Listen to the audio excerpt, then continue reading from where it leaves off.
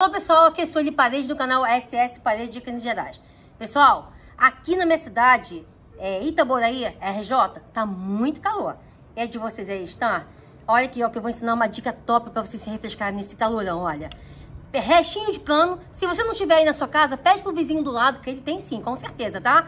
E agora, ó, vem comigo reciclar e se refrescar.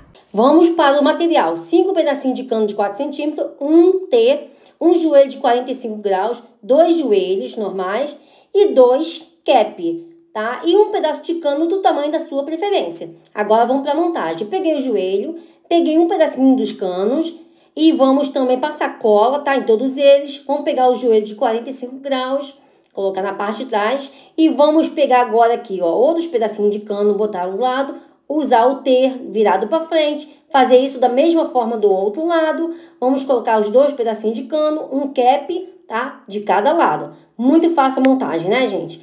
Lembrando que todos eles são colados, tá? E mais um pedacinho do cano. Agora aqui, vamos furar com uma broca bem fininha, tá, gente? Vamos estar fazendo aqui vários furinhos desse lado. Vamos fazer também aqui no meio também, vários furinhos também com espaços bem considerados de um para o outro, não muito juntinhos, tá? E vamos fazer isso também aqui na outra forma. Olha aqui, pessoal, como que ficou top demais, tá vendo?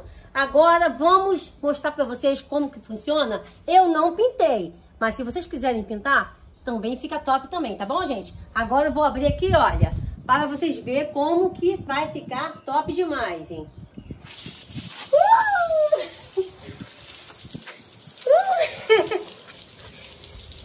like e compartilhe, hein? Beijo!